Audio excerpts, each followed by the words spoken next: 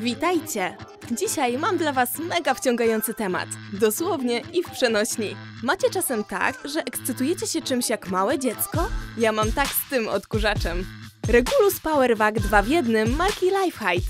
To bezprzewodowy odkurzacz, który ma całą masę ukrytych talentów. Po pierwsze, koniec z plączącym się kablem.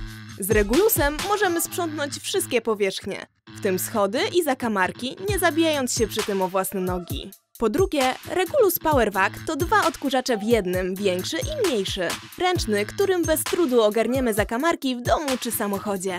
PowerVac niezawodnie odkurza zarówno gładkie powierzchnie, jak i dywany.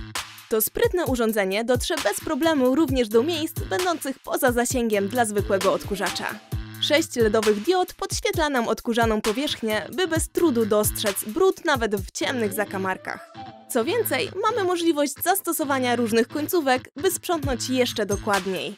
Mamy ssawkę do podłóg z napędem elektrycznym i technologią Duo Bristol.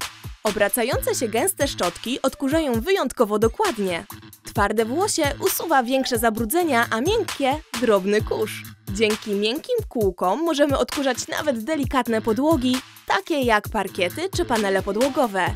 Do małego odkurzacza możemy podpiąć szczotkę do fug lub sufitu oraz specjalną szczoteczkę do mebli tapicerowanych, dzięki której skutecznie pozbędziemy się np. sierści czy innych kłaczków.